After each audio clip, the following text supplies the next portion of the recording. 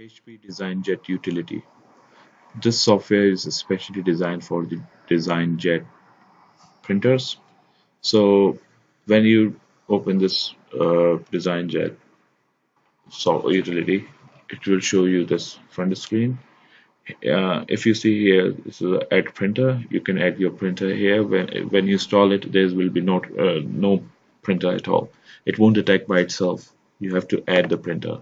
So here, when you press add the printer, it will show you the quick find. Quick is better to use this option rather than the general uh, general search. Use this one. Just write your printer IP address, and it will take it will add your desired printer. All right. So this is an overview. It shows that what printer serial number is, what's the firmware version, how much ink is left right now which printer is which paper is loaded what are the alerts like for example ink blow paper jam or whatever it will comes here. In supplies it will show you the overview of the supplies how much ink is left. So this is a ink it shows here how much is left. It shows the printhead is already expired means out of warranty. You can still use it. Um, all right if you go down here it shows that uh, which roll is set it up which paper is it and what's the happening with the other roll like it's on a standby. Is a plain paper. When you send the um, print job on a plain paper then roll one will uh, go on a standby and it will print on a plain paper if you select on your driver. Stacker.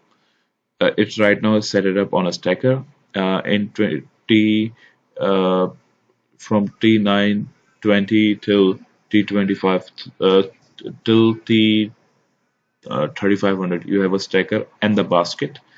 So you can use uh, either basket or stacker. Stacker uh, it is it's a better option. So right now it's set it up on a stacker. All right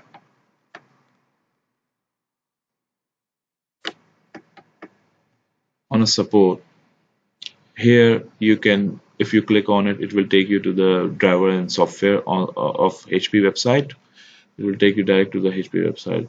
Uh, for troubleshooting you can select this one uh, but uh, it, it, will uh, ask you to download the user manual in order to resolve the issue. Um, not the service manual.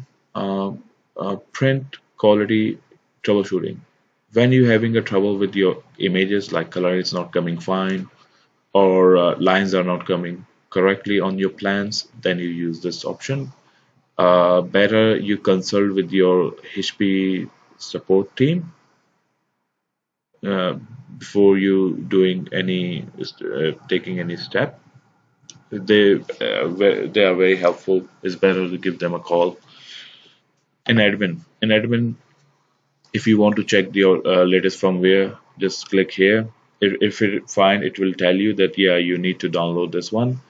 But uh, is it is better to consult with your IT technician or HP support. Uh, launch uh, embedded server. Okay. This one is the same thing which you uh, if you put the, your printer IP address on your um, browser it will take you to the same page. So right now I click on it. It uh, took me to the inside of the printer. So like it will show you everything like how many prints already done on this printer and uh, uh, what is the usage. Supplies also you can see here. For accounting option you also have accounting option that shows uh, how much ink is used on this page. So for example I click here so it will show me how much ink is used. So you can uh, you you know that how much is the cost of the uh, how much is the expense. So you can uh, put here the uh, information how much uh, you know if you buy the ink volume and you put ink volume and their cost. So it will uh, add it up and it will tell you the how much is the cost of the ink is already used. All right. In setup it shows the uh, security uh, email server email server is for the scan to network. Oh sorry scan to email. Uh, it will it requires the internet on your uh, printer.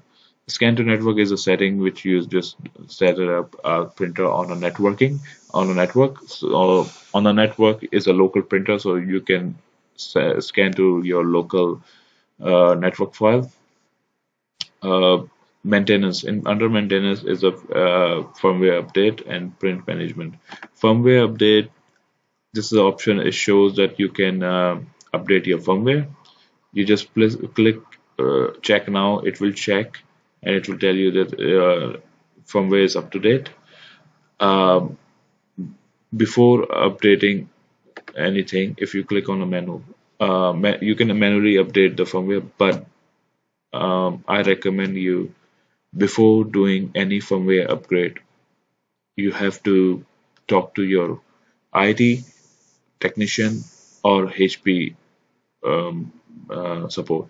Because if you upgrade the wrong firmware or if maybe printer don't require a firmware and you upgrade the uh, old firmware on it. It it will destroy your printer so uh, better not to touch it because it's a little bit critical.